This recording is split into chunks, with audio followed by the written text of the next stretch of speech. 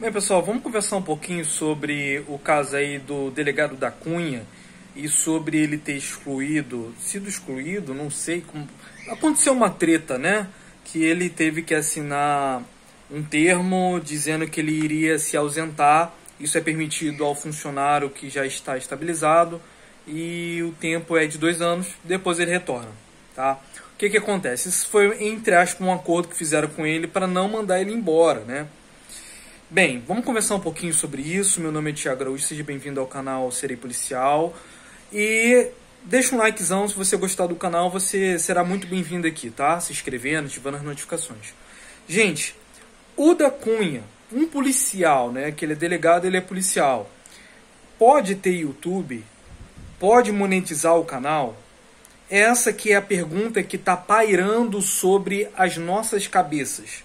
E eu vou te responder tá? Eu já sendo um, um ex-militar, né? Um militar da reserva, um sargento da reserva, vou te responder com toda a convicção que sim, ele pode, desde que ele não faça vídeos é, né, monetizado principalmente com fruto do trabalho dele. Por quê? Vejamos, vejamos.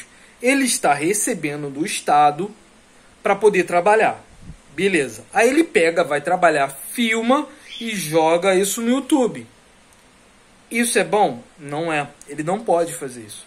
Tá? Não pode. Infelizmente não.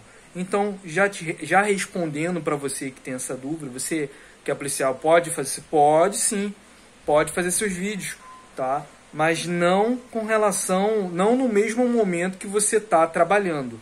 Tá trabalhando, está trabalhando. Tá estudando, está estudando. Ponto. Se você está fazendo seus vídeos num intervalo né, do seu trabalho, beleza, né? Vamos dizer assim, ah, horário de almoço. É um intervalo, gente, é um intervalo, né? Ah, beleza, você está fazendo seus vídeos ali. Beleza.